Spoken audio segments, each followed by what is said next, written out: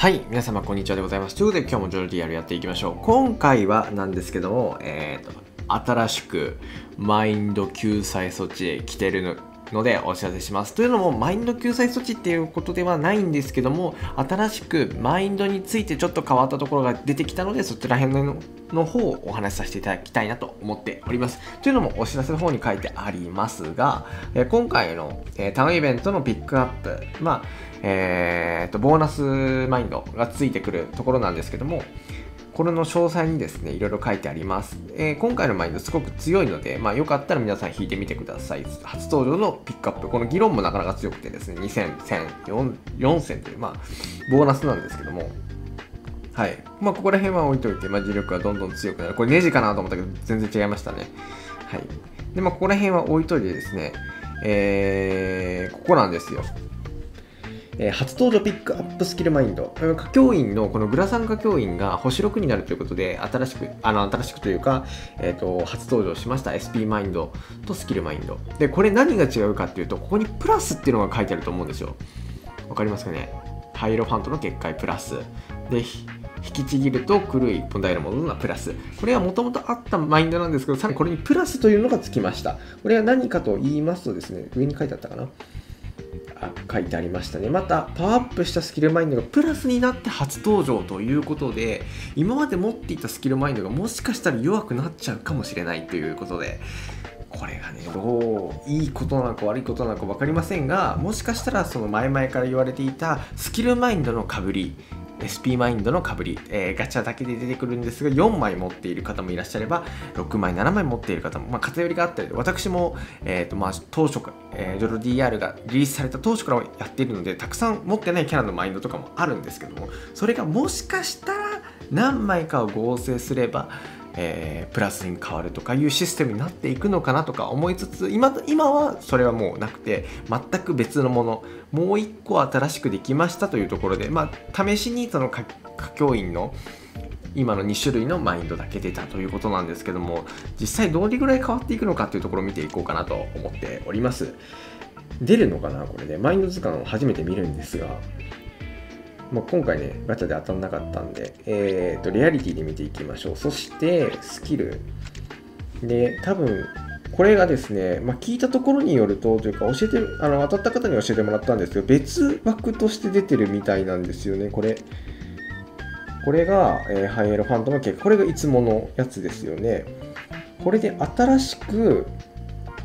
同じ絵柄で出てるはずなんですけど、出てるかな、これ。あった。これ、これですね。プラスって書いてありますね。じゃじゃん。はい。えー、今が110だったと思うんですけど、DR140 で出てきます。えー、使えるキャラは全く変わらないんですけども、えー、DR30 ぐらい違うのかな。バトルステースこっちで見ていきましょうか。あこれは別にその攻撃力とか書いてないんですけども、まあ、プラスということで、多分この旧モードでも変わってくるのかなと思いますね。なんで、えーと、今持っているマインドが全部弱くなっちゃうかもしれないということで、まあえー、今までも、あのー、旧、えーと、旧モードで使ってたキャラクターのマインドが、えーと、新モードでなるとちょっと弱くなったりとかしてると思うんですよ。そこでの補正っていうのもあるんでしょうね。プラスになっていく。で、これがちょっとその、今の使っているマインドと別という全く別で出てるんですよね。これがちょっと怖いなというところなんですけども、まあ、その救済措置で出てくる出てきたのか分かりませんが今のところ、まあ、この書き込みの2枚ということで皆さんいろいろね多分思うところがあるんじゃないかなと思うんですがこれはまあねあんまりその大々的にはやってなかったですね。このお知らせにちょこっと書いてあるぐらいだったのでまあ憶測が呼んでいるというところなんでしょうか。こちらもね、DR150。まあ確かにこの DR だけで見るとすごく強くて、まあ、今回当たった方はラッキーなんじゃないかな。まあまたね、Q モードの、あの、Q モードで強かったキャラクターとか、今までされなかったキャラクターがマインドがめっちゃ強くなったりする可能性もありますので、うーん、どうなのかなっていうところなんですけども、まあそうですね、新モードでも Q, も Q キャラクター、今出たキャラクターも使えますよっていうところじゃないかなと。ディオも150ぐらいなんですよね、確か。うん、なんでディオレベルですごい強いマインドになったんじゃないかなと思いますがその前にですねこの別っ子に別っ子にするんだったらちょっと マインドボックスを 拡張させるやつは早く欲しいんですけども運営さん、はい、今600がぎ600が今マックスでずっと出てないんですよねボックス拡張が。なんでそろそろ出してほしいなと思うんですが新しくなってきましたね。どうなっていくんでしょうか。またね5部キャラのスキルマインド等もどんどん出てくると思うんでまたマインドが重なってしまいますが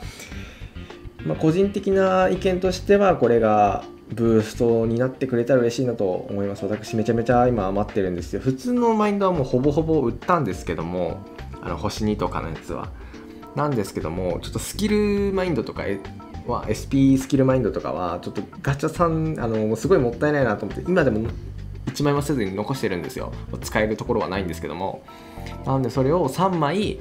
えー、強化合成したらプラスになるとか5枚強化したらプラスになるっていう感じにしていただけたらいいなと思うんですがどうなんでしょうかね。うーん。まああれみたいな感じだよね。えっ、ー、と星6の星5の覚醒キャラもガチャに出るよっていう感じになった感じかなと思うんだけどどうなのかな？これはちょっとね、まあ、怖いなとは思うんですが、はい、皆さんはどう思ったでしょうか？まだちょっと情報が少ないのでえっ、ー、とこうバッという断言的なことは言えないんだよ。ちょっとふわっとした感じだし憶測の憶測でものを言うことしかできないんですけども皆さんはどう思ったかぜひぜひコメントに書いていただけたら嬉しいです。はい、ということでですね、まあ、どんどんどんどん、えっとまあ、月1にこうタウンイベントがあることによってこう新しいあの DR の試みというのが出てきましたね。まあ、それに毎回ワクワクしているんですけど、皆さんはね、ぜひぜひ、えー、どう思ったか書いていただけたらと思います。今回の動画が面白いのためになったのって方は、ぜひグッドボタン、チャンネル登録とよろしくお願いします。コメントも待っております。それではまた会いましょう。アリザベルチ